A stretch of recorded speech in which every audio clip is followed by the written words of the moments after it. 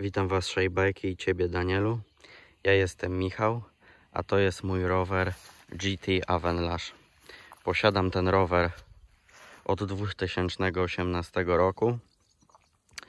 Posiadał on napęd e, Shimano Altus, a jeśli chodzi o hamulce, były to hamulce Tektro Disc hydrauliczne.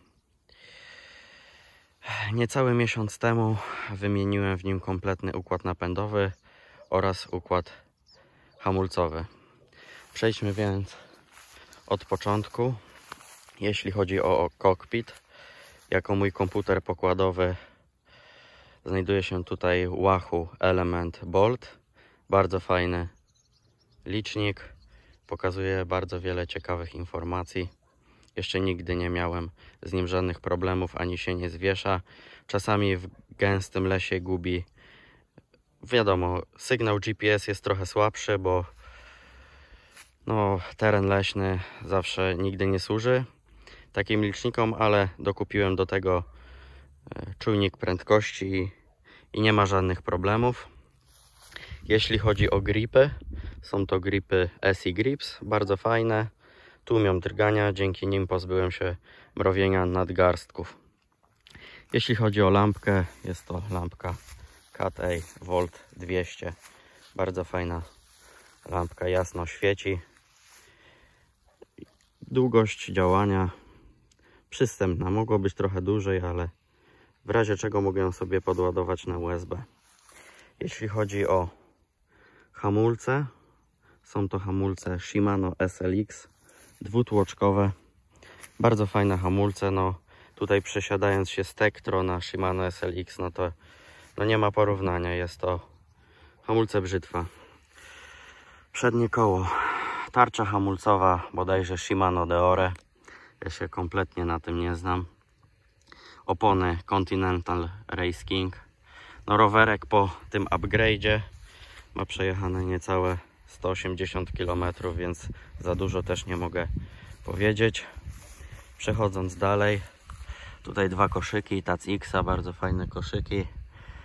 No i bidon Camelbacka z wkładką termiczną. Utrzymuje tą niską temperaturę napoju przez jakiś czas.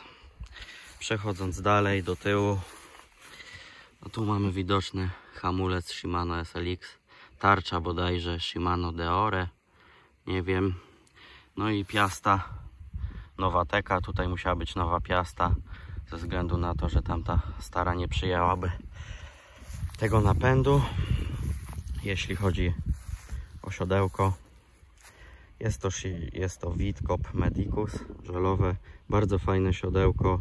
Nie było drogie, kosztowało jakieś 70 zł, a sprawuje się wyśmienicie. Nie odczuwam w ogóle bólu pośladków. Przechodząc dalej, tu już przechodzimy do wisienki na torcie, czyli do napędu.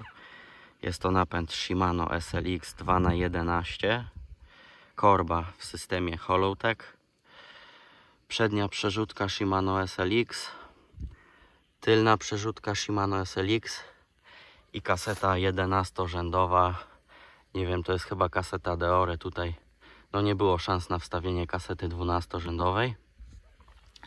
Co mogę powiedzieć o tym napędzie? No tutaj różnica pomiędzy Altusem a SLX, no tu nie ma porównania. Kultura pracy jest, dla, jest bardzo wysoka. Nie ma póki co z nim żadnych problemów. Zobaczymy, co będzie dalej. Ogólne doznania z jazdy tym rowerem. Jeździ mi się nim bardzo przyjemnie, że rower nie sprawia żadnych problemów. Geometria ramy jest dla mnie bardzo wygodna. Tutaj jeszcze taka informacja. Ja mam rozmiar M i 174 cm wzrostu. Jest to bardzo taka nietypowa geometria, ale mi się spodobała i jest to bardzo wygodny rower. Jeśli jeszcze chodzi o amortyzator przedni, jest to amortyzator, który był od początku Santur XCT z blokadą tutaj skoku w goleni na razie nie odczuwam potrzeby wymiany tego amortyzatora, bo jest on dla mnie wystarczający. Myślę, że to by było na tyle. Dziękuję wszystkim za uwagę i życzę jak najwięcej kilometrów na rowerach. Cześć.